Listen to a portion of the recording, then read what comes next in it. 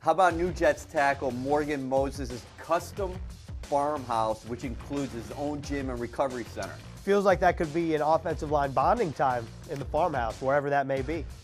The Jets add to their offensive line with the addition of Morgan Moses. And you know that with Joe Douglas at the helm, the offensive line is always looking to improve.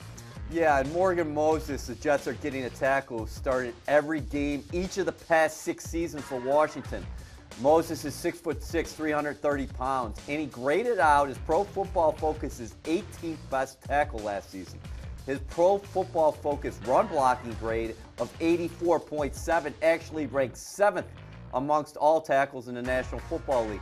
When the Jets were rumored to have interest in Moses, head coach Robert Saleh said, He's an outstanding player. He's played at a high level. He indicated the Jets wouldn't be shy from adding good football players, and GM Joe Douglas got the deal done. All right, so this begs the question. The next one, the natural one, is what does this mean for George Fant, who started at right tackle last season for the Jets? Bottom line here is the signing helps the Jets in two ways. The Jets like George Fant, and they think he will be good in this wide zone blocking attack. If Moses does indeed start at right tackle, though, then the athletic Fant, who started a career high 14 games last season, could become a valuable swing tackle for the Jets. Like Fant, Moses is a true professional who lives by the mantra your best ability is your availability.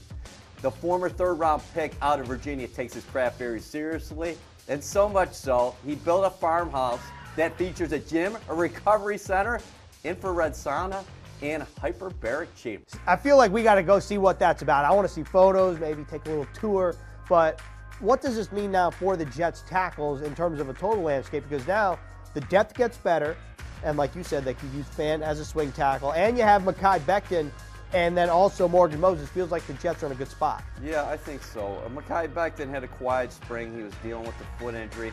He hired a personal chef. We talked about that before. He's eating the right things.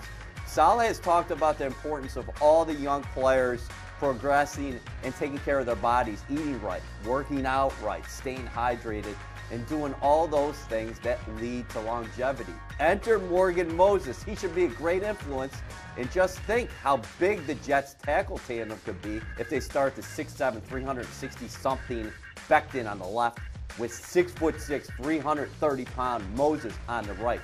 No matter what happens with Moses Fant, the Jets have gotten better with this addition. All right, Morgan Moses, the new addition to the team. And for your full coverage, be sure to check out NewYorkJets.com.